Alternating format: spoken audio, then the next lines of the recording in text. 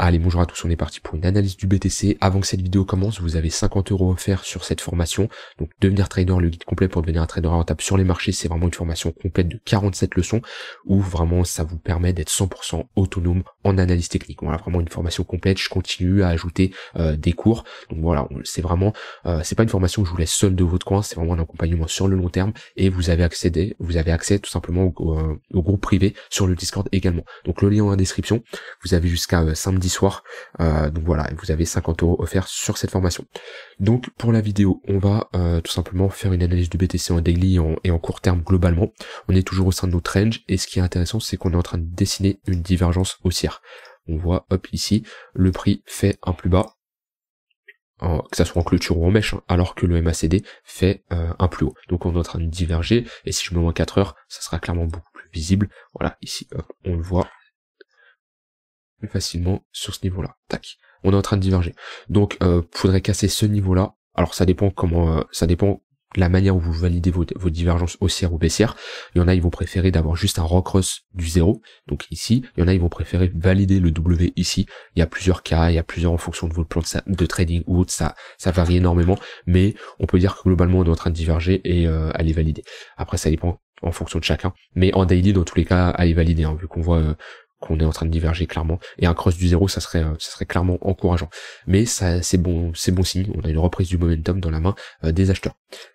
D'un point de vue range, hein, je le dis toujours, hein, mais votre meilleure stratégie quand vous faites du range, c'est tout simplement délimiter une borne basse, une borne haute. Voilà, ici on a notre range, et tout simplement on longue la borne haute et on short la borne basse. Donc pareil, soit vous longuez de manière agressive comme je l'avais dit dans une précédente vidéo, direct sur la borne basse, soit vous attendez qu'on vienne prendre la liquidité et on réintègre. Et du coup, ça vous fait une entrée sur ce niveau-là.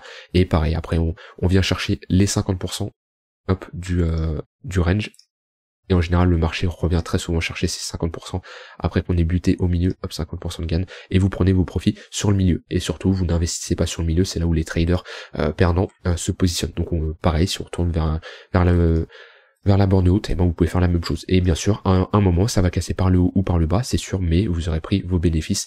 Euh, enfin, vous aurez une perte, bien sûr, mais si vous longuez là, vous prenez vos positions, euh, votre votre prise de profit ici, avec un stop loss très serré, vous avez un risk reward d'au moins 3 pour 1, et ben si vous perdez, par exemple ici, vous décidez de shorter, hop, le marché casse par le haut, vous avez un stop loss, mais vous êtes quand même, vous êtes quand même gagnant avec une bonne euh, gestion de risque.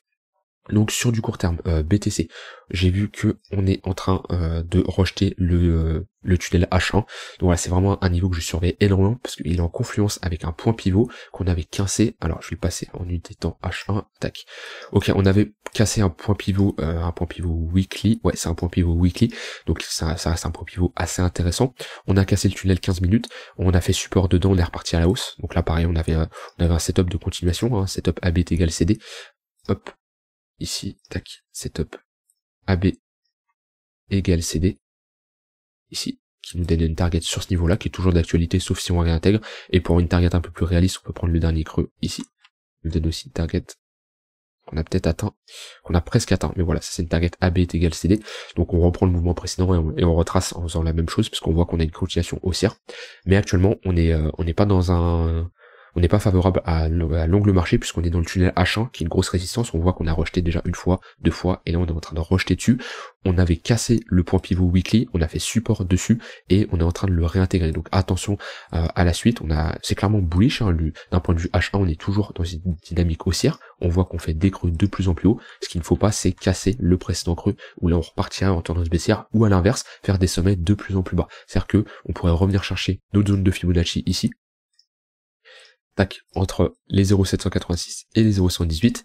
Et si on commence à retourner dans cette zone et instaurer DM euh, en 15 minutes ou en une heure, et bon pour avoir une poursuite baissière, et là on serait également dans une continuation baissière. Donc clairement, cette zone-là va être très importante à surveiller si on retourne dans cette zone, mais même là déjà, faudrait s'affranchir du point euh, du point pivot weekly. Voilà, ça c'est clairement quelque chose que je voulais dire. Si on sur du unité de temps un peu plus court terme, on peut aller voir ça ici. Euh, donc là, on a le point pivot daily et le point pivot euh, weekly. On les a cassés. On a fait euh, résistance sur le point pivot euh, daily et on fait résistance sur le point pivot weekly. On a cassé le tunnel tunnel 5 minutes. Donc là, on voyait qu'on avait une magnifique un magnifique setup de continuation haussière. On est dans le pivot 15 minutes plus 5 minutes. On fait des W. Donc là, on a clairement un setup qui, qui s'enclenchait avec une prise de profit à minima dans le tunnel H1. Donc voilà, si on peut avoir soit la cassure, ou soit si vous prenez, ça dépend des doublés que vous prenez, mais même si vous prenez la cassure, vous avez un risk reward de, ouais, on peut aller chercher le 2 pour 1 en allant aller chercher le haut du tunnel. Après, c'est ça, sur du court terme, ça joue. Moi, j'aurais pris des profits direct qu'on dans le tunnel H1 ou au moins sur le point pivot daily. Mais voilà, c'est un setup qui pouvait jouer. Actuellement, on est en train de casser voilà les niveaux importants. On casse le tunnel 5 minutes. Va, va falloir voir comment on réagit sur le tunnel 15 minutes. Euh, Est-ce qu'on a divergé en 15 minutes? Ouais, on avait une divergence qui a été validée d'ailleurs. On le voit ici. Hein. On fait un plus bas alors que sur les Macédés, enfin sur les Macédés on fait un plus bas alors que sur le cours on fait un plus haut. Donc ça ça veut dire sur du 15 minutes, auquel les, les acheteurs ils sont euh, de moins en moins puissants, les vendeurs récupèrent le contrôle du momentum, et si je mets un Fibonacci, on peut aller chercher hop, nos 0,382 qui sont en confluence avec le, la, la, ligne de coup du précédent W, donc le, le haut de notre précédent range, on a consolidé, et c'est un niveau très pertinent pour avoir une poursuite haussière. Donc si on va sur ce niveau là et on commence à instaurer des W, eh ben on pourrait clairement avoir euh, un setup qui s'enclencherait pour une continuation haussière et revenir chercher pourquoi pas prendre la liquidité au-dessus de ce niveau-là, voire au-dessus de tout ce niveau-là. Voilà, c'était euh, d'un point de vue euh, court terme, c'est ce que je voulais dire.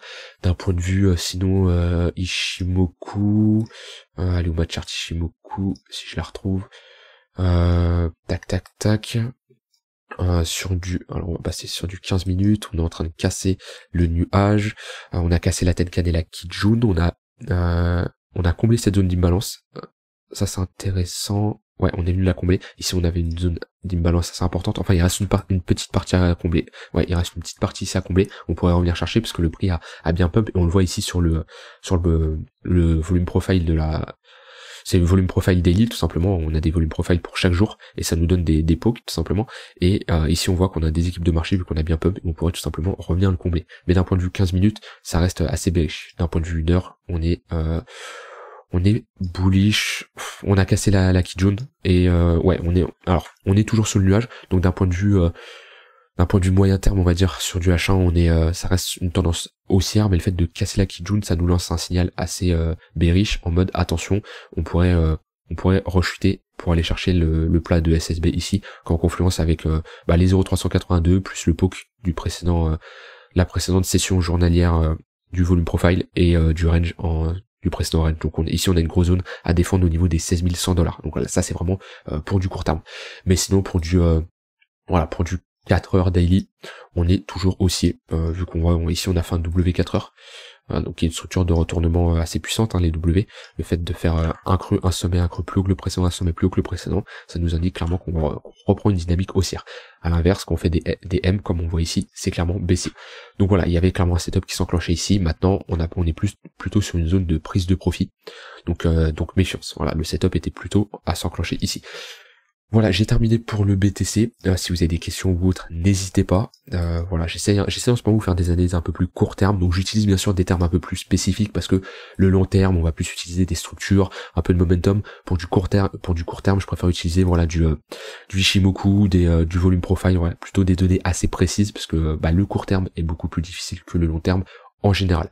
Voilà, j'ai terminé pour cette vidéo. N'oubliez pas que vous avez 50 euros offerts sur la formation. Euh, pour profiter du, euh, du Black Friday tout simplement. Si vous avez des questions à propos de la formation, n'hésitez pas à me contacter euh, par mail ou, ou sur Discord et je vous répondrai rapidement. Moi, je vous souhaite une très bonne fin de soirée et on se retrouve demain pour une prochaine vidéo. Bye bye.